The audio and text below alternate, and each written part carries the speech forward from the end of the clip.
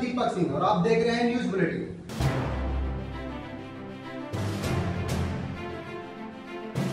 उत्तर प्रदेश में विधानसभा चुनाव अपने पूरे रंग में रंग गया है। हर पार्टी ने अपनी अपनी कमर कस ली है।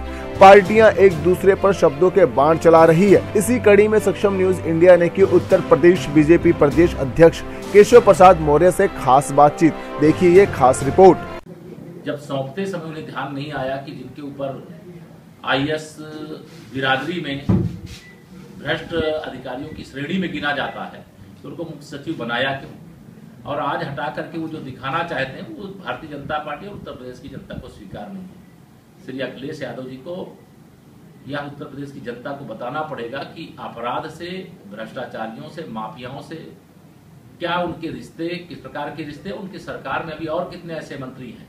कोई एक दो नहीं है। अधिकतम नव मंत्री उनके मंत्रिमंडल के जो हैं, ज़मीन कब्जे का मामला हो, चाहे भ्रष्टाचार का मामला हो, चाहे अन्य किसी प्रकार को समाज को उत्पीड़ित करने का मामला हो, अपराधियों को संरक्षण करने का मामला हो, उसमें वो लिप्त पाए गए हैं। वह पूरा मंत्रिमंडल अगर बर्खास्त करने में लगेंगे तो भी शायद इस प्रकार की घटनाओं से उनका मंत्रिमंडल बच नहीं पाएगा।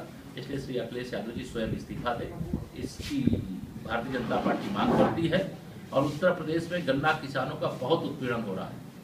भारतीय जनता पार्टी यह भी मांग कर रही है कि गन्ना किसानों को गन्ना का मूल्य तीन सौ पचास रुपए प्रति कुंटल अविलंब करें। नहीं करेंगे तो भारतीय जनता पार्टी सरकार के खिलाफ सड़क पर संघर्ष करेगी, किसानों के साथ खड़ी है और किसानों के साथ जाति बर्दाश्त नहीं इस वक्त इस वक्त हटाने का मैं व्यक्तिगत तौर से मानता हूँ, इसका कोई मकसद नहीं है, बस शुद्ध रूप से एक नाटक है। जिस प्रकार से गायत्री प्रजापति और राजकिशोर सिंह को हटाने का नाटक किया गया, उसी नाटक का यह दूसरा सोच चालू हुआ है कि हमने मुख्य सचिव को हटा दिया।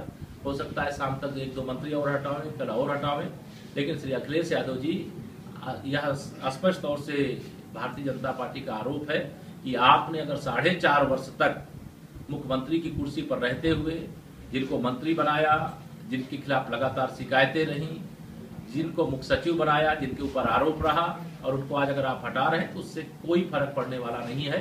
समाजवादी पार्टी की साइकिल को पंचर नहीं, खंड खंड होने से 2017 में कोई बचा नहीं पाएगा।